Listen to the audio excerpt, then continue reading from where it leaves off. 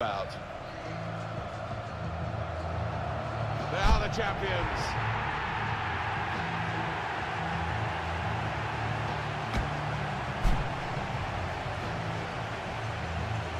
Back in 20 years' time, and you'll think about this day.